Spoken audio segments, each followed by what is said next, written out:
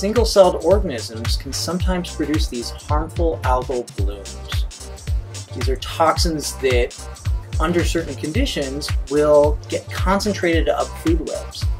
Marine mammals, if they eat certain kinds of prey, can even die from harmful algal blooms. We think that we've pinpointed this in the geologic past. For the first time, the Smithsonian has played a key role in an international collaboration trying to understand why are all these fossil marine mammals found at this one particular site in northern Chile.